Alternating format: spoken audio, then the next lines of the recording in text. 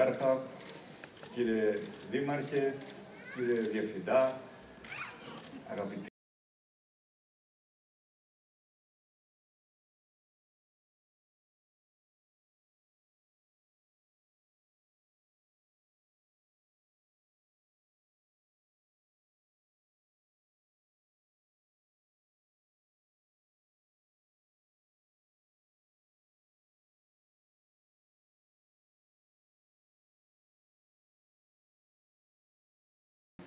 Είχα όντως την ευκαιρία εκείνη την ημέρα να επικοινωνήσω με τον κύριο Διευθυντή.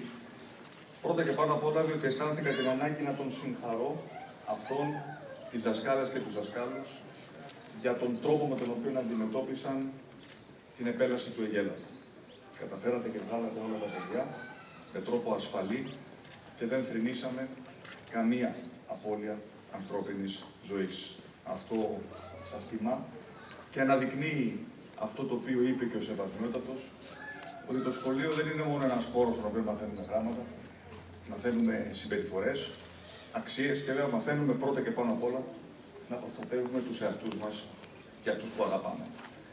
Θέλω να ευχαριστήσω τον πρόεδρο της ΓΕΚΤΕΡΝΑ για την ταχύτητα με την οποία ανταποκρίθηκε στο αίτημά μου, στην πρόσκλησή μου, μέσα από το πρόγραμμα εταιρικής κοινωνικής ευθύνης της εταιρείας να σχεδιάσει και να κατασκευάσει εξ ολοκλήρου αυτό το υπερσύγχρονο σχολείο.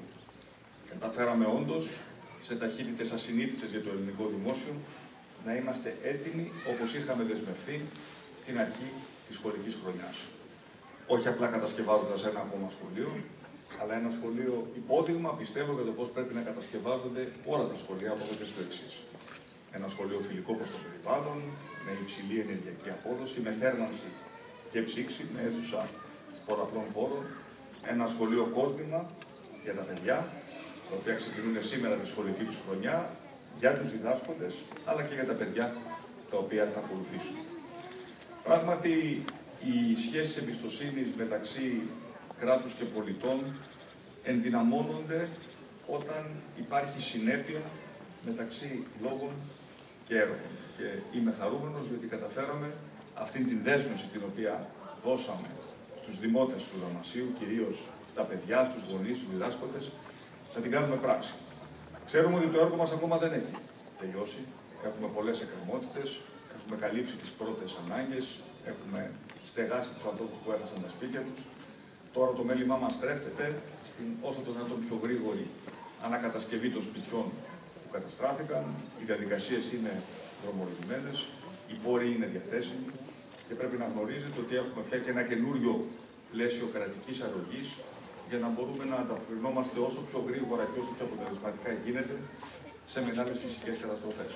Η Θεσσαλία, αγαπητέ Κώστα, χτυπήθηκε δύο φορές τον περασμένο χρόνο. Πρώτα από τη θεομηνία του Ιαννού και μετά από το καταστροφικό σεισμό της 3η Μαρτίου. Και στις δύο περιπτώσεις όμως αποδείξαμε ότι τα πράγματα μπορούν να γίνονται με άλλες ταχύτητες και με άλλη αποτελεσματικότητα. Το ίδιο κάνουμε τώρα και στην Εύβοια και στις περιοχές που χτυπήθηκαν από τις φωνικές και τις, όχι τις φωνικές, ευτυχώς όχι, αλλά τις καταστροφικές πυρκαγιές του ε, καλοκαιριού που μας πέρασε. Τέλος, να πω δύο σκέψεις για την σχολική χρονιά, η οποία ξεκινάει σήμερα σε όλα τα σχολεία της χώρας. Θέλω πρώτα και πάνω απ' όλα να ευχηθώ στα παιδιά, στους γονείς, στις δασκάλες, στους δασκάλους, στις καθηγήτρες, στους καθηγητές, να έχουμε μια καλή και πάνω απ' όλα ασφαλή σχολική χρονιά. Φέτος έχουμε να αντιμετωπίσουμε και την επιπρόσθετη πρόκληση του κορονοϊού. Θέλουμε τα σχολεία να μείνουν ανοιχτά. Για να μπορέσουμε να το κάνουμε αυτό, θα πρέπει να τηρούνται πλήρως τα μέτρα τα οποία μας έχουν υποδείξει οι ειδικοί.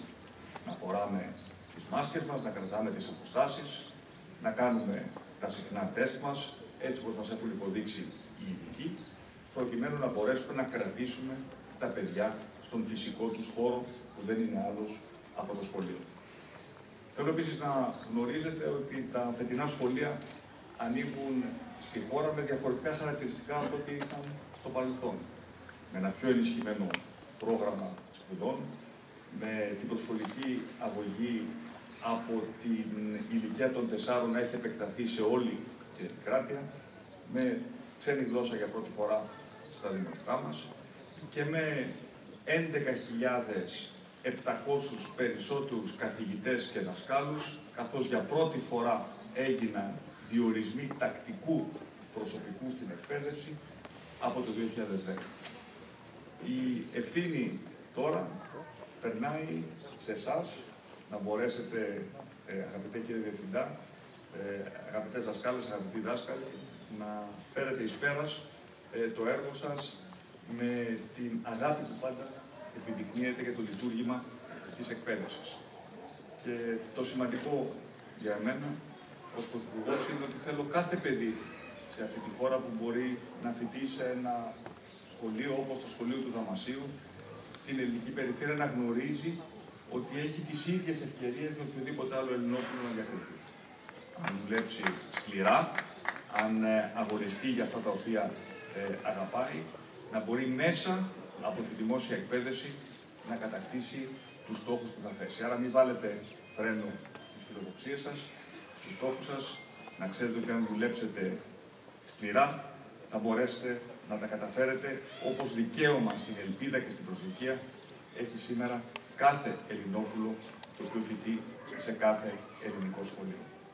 Τελειώνοντας, ε, κύριε Δήμαρχε, εύχομαι να μου δοθεί η δυνατότητα να επισκεφθώ και πάλι τον Δήμο σας στο άμεσο μέλλον, να διαπιστώσω την πρόοδο στην αποκατάσταση και των υπόλοιπων υποδομών που έχουν πληγεί και θέλω να γνωρίζετε ότι χρέος του κράτους είναι να βρίσκεται πάντα κοντά σε κάθε πολίτη ο οποίος δοκιμάζεται. Κανείς πολίτης δεν πρέπει να αισθάνεται απροστάτευτος. Το πρώτο μέλημα του κράτους είναι η προστασία της ζωής και της περιουσίας των συμπολιτών μας και αυτήν την δέσμευσή μας κάθε μέρα που περνά θέλω να την κάνουμε πράξη. Να είστε καλά, καλή χρονιά